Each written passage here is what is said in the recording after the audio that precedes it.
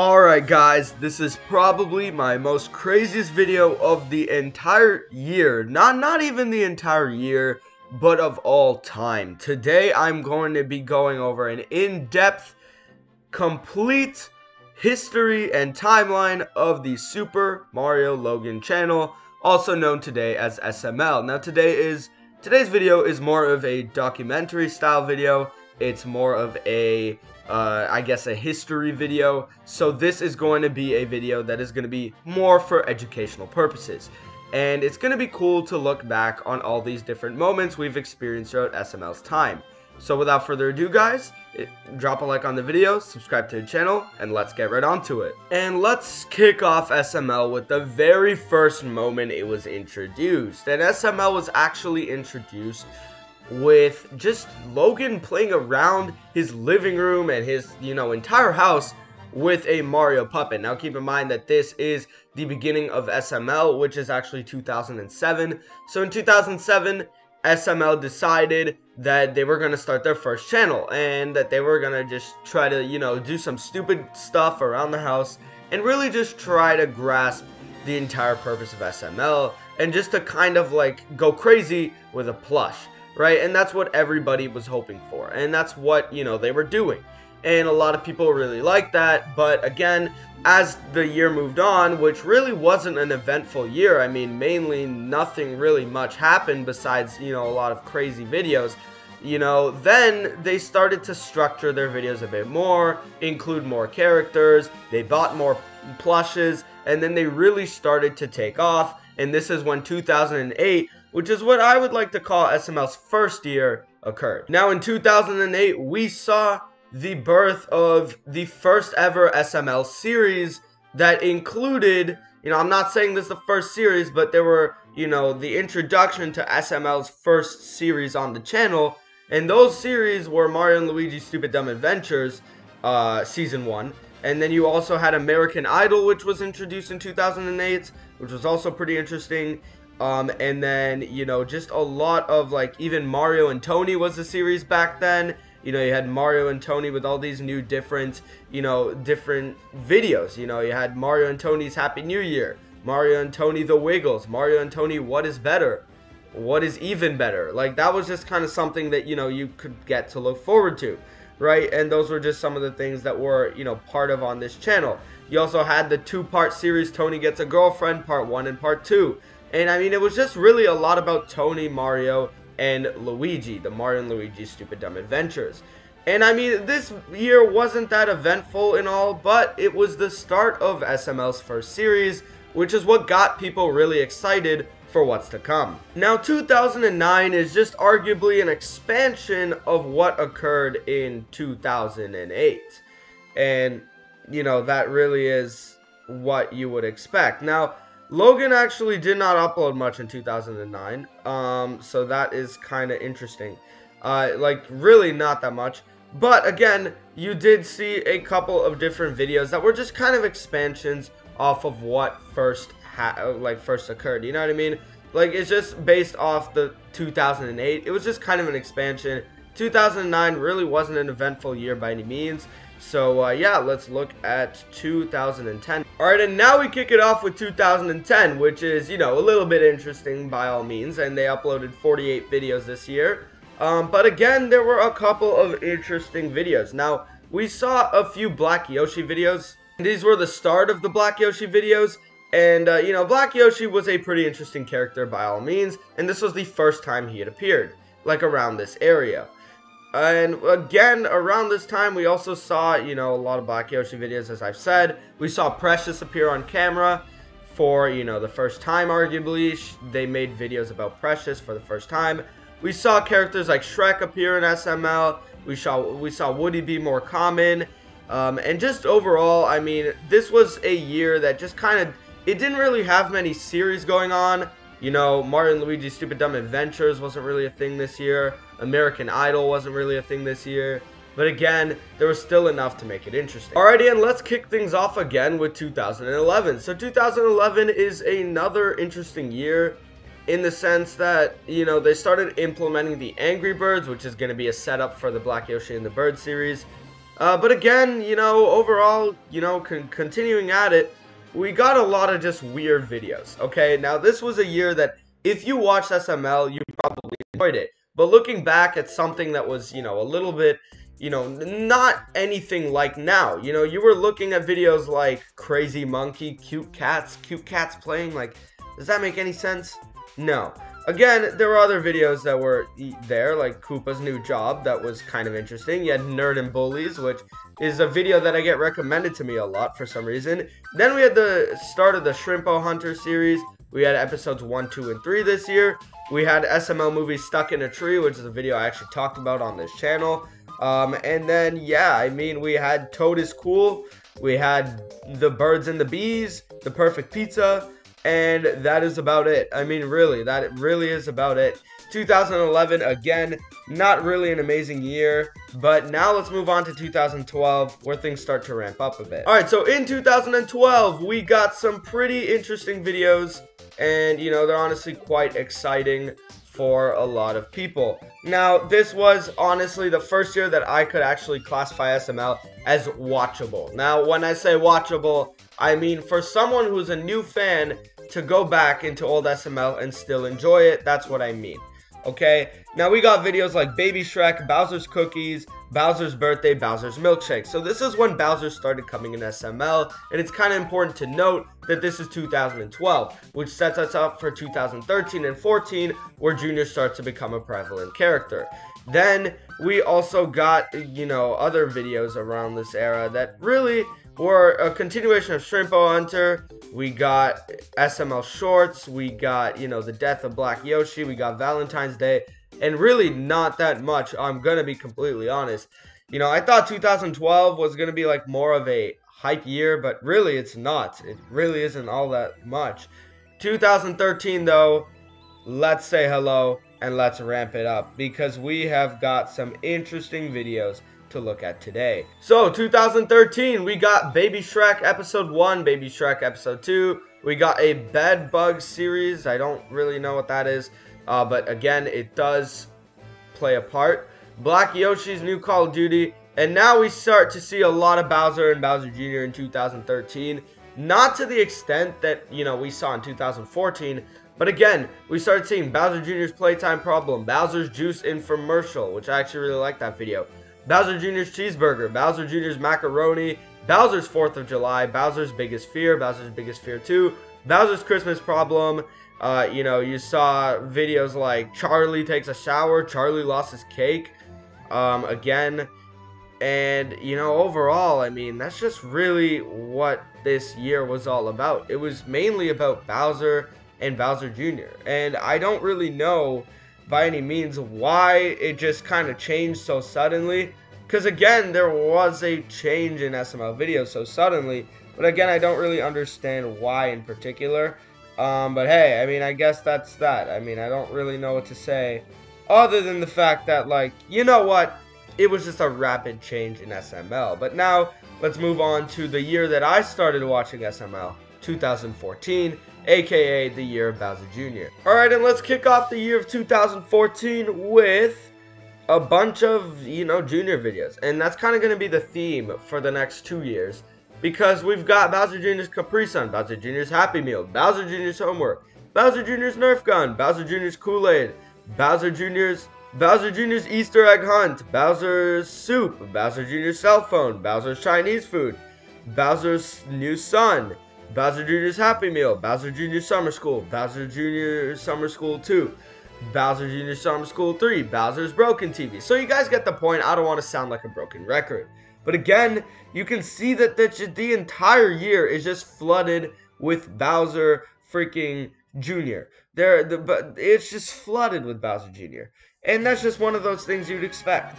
Bowser Jr. completely flooded. Again, we did see Black Yoshi this year. We did see Shrek this year. But again, the main character was Bowser Jr. And a lot of people were starting to drift away from that. But a lot of people were also starting to enjoy it. And that's what people started subscribing for was Bowser Jr. Oh, and 2015 comes around, and now we've got some pretty interesting things. Uh, by interesting, I mean just a continuation of 2014.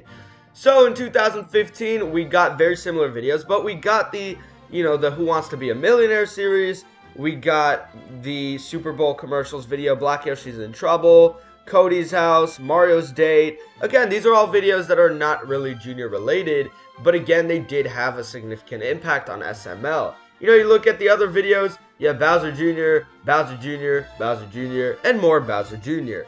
But again, what's to be expected? I mean, Bowser Jr. videos were getting the most views. They were the easiest to make for Logan at the time. He even said so himself.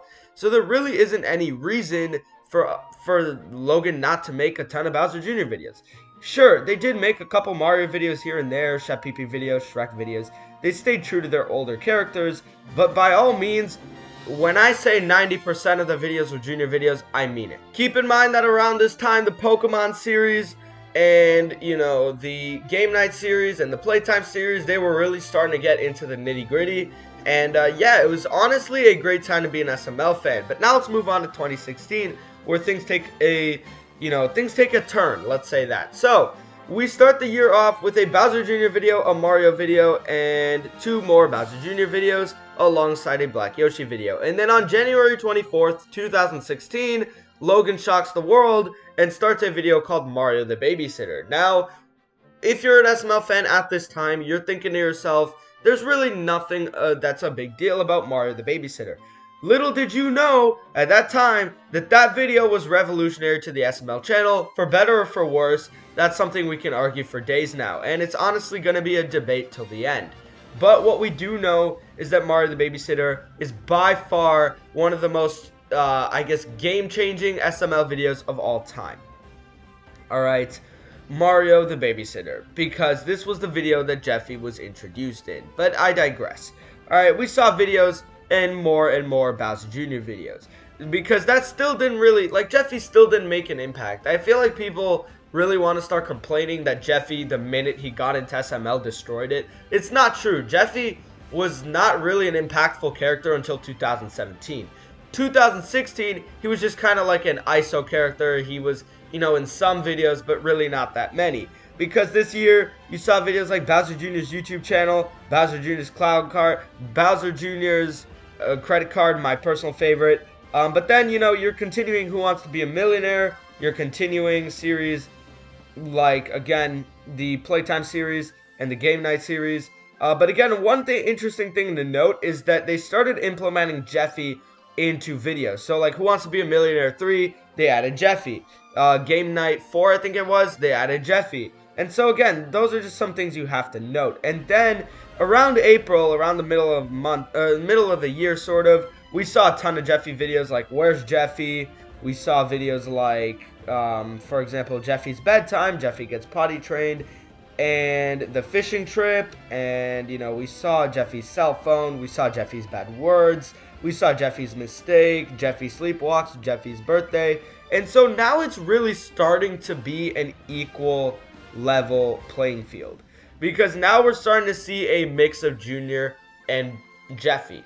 You know, whereas at the beginning of the year, we really only saw Junior. And now, at this point in 2016 and 17, there really was no room for any other characters. Like, when was the last time in 2017 you actually saw a Mario video? You didn't. And that's because those two characters were taking up all the videos. Why? Because they got the most views and they were the easiest to make. And yeah, Logan said that himself. Now, 2016 was the year that they moved into the new house, which is arguably a very notable event. And I also forgot to mention that 2015 was the year that they moved into the apartment. So really, they only lasted in the apartment for one year, and what seems like to be an eternity. I mean, it really does seem like to be, like we thought, genuinely, with the amount of videos that came in the apartment, really does feel like they've been in there for at least three years, but they've really only been there for just under two years, and that to me is really something that is questionable, and it's it's kind of crazy how much they got done in the, such a small apartment with such a big crew. But yeah, one of the most notable things of the year, of course, was the fact that they moved into the new house. And this was the first house they had with two floors. So that was pretty exciting for Logan and for the SML crew as a whole. Specifically on October 20th, 2016 is when they moved in. Oh boy, 2017, the year of demonetizations. Yes, yes, yes, the year of monetizations. You know, you know, in each year of SML, we saw some sort of upgrades, right? In 2012 and 2011, we saw the implements of Black uh, Yoshi, Shrek, Woody,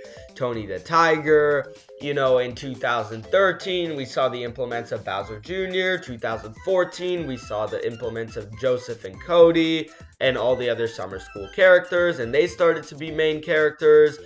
And then you get to 2017 and you're like, what's new? And nothing's new. It's just a continuation of 2016, but it's a lot worse. And when I say it's a lot worse, I mean it. It is a lot worse, okay?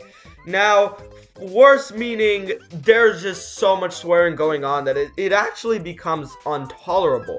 I don't know what went on this year. Sure, there were a couple masterpieces like the Bake Sale, Nintendo Switch, and you know, the entire Troll of the SML movie happened this year on April 1st, 2017, when the SML movie really started to become a thing, and Logan was genuinely pushing for this release date. Like, he was pushing for the, uh, he was actually pushing for the summer of 2017 for the SML movie to come out. And on April 1st, he said that he's going to release the movie and you know he he actually posted a video called the SML movie and people were so excited. They were like oh let me grab my popcorn. And the reality of the situation was is that that really never happened. It was just an April Fool's joke.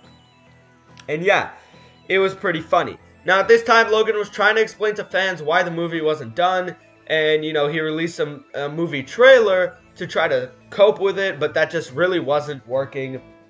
And overall, Logan just decided, hey, you know, we're going to be releasing the Super Mario Logan movie on my website because at the time, Logan was dealing with age restrictions and demonetizations, and this was the year. I mean, what do you expect when you release a video called Drawing Jeffy, where literally the entire purpose of the video is for Jeffy to cuss out his parents, explaining that there is a drawing in the house? Like, that really isn't all that amazing, and honestly, 2017 was the beginning of the end for SML. But uh, yeah, let's move on to 2018 where I'm not gonna lie, things don't get much better. Now, 2018 was the first year that Logan genuinely started asking for help, and it was actually like legitimately problematic. He was asking, you know, people for Patreon support. He was asking people to subscribe to all the new channels because they needed funding. And this was the year where their funding genuinely got completely scrapped. And they were stuck between moving to Super Luigi Logan or Super Bowser Logan. They didn't really know what to do. And this was kind of a situation that was difficult, right? They kept swearing, though, this year, which is kind of shocking to me. The fact that they kept swearing over and over again this year was honestly mind boggling to me. I mean, we saw videos like Jeffy Plays Baseball where Goodman completely cussed the living crap out of everybody. You know, we saw Fat Jeffy where Jeffy completely cussed the living crap out of his parents. And yeah, I mean, this this year as a whole was just kind of crazy. And you know, it's one of those least things that you'd expect. Because when someone gets on freaking Good Morning America and then they genuinely get demonetized, you start to realize that maybe you're doing something wrong and that you probably have to change something. And that's when 2019 kicks in. 2019 genuinely might be my favorite year of SML. And why is that? Because they really, really chilled on the swearing. They moved channels to Super Luigi Logan so that they wouldn't get demonetized, so that they would swear moderately. And it's not that, it's that the quality of the videos were just amazing. This was the last full year we had the puppets. This was the last full year we had the plushes, not the puppets, the plushes. And honestly, SML was honestly awesome around this time. This was the redemption year for SML. We saw a ton of Bowser Jr. videos, a ton of Jeffy videos, but we also started to see Black Yoshi videos, Shrek videos reappear again, and it was just great. It was a golden era of SML. 2019, arguably one of the most well-rounded years of SML of all time. Um, but this is the last of the good years because now we get on to 2020 and 21 because 2022 we can't really talk about. We don't really know what's been going on lately. It's just kind of been a continuation from 2021. But 2020 is a topic on its own. So as you guys know, 2020 was the year of the pandemic, and on March 3 on March 13, 2020, Logan made a video that was essentially talking about the uh, entirety of the pandemic, how it's affecting their crew, and you know, essentially essentially what happened was that the crew was genuinely just starting to be, I guess, spread apart. They're starting to get spread out, and things were definitely being impacted. While SML did have some great moments in their history, like reaching 1 million subs back in 2017, which is something I didn't really mention, but it is something they accomplished. You know, it was making Logan happy. It was, you know, really making him a more energetic person. You know, obviously they were dealing with situations like the secret door. They were trying to make some unique situations going on in SML. They tried to make the SML movie. But now things really came going downhill because now they were forcing themselves to really make a change to their channel.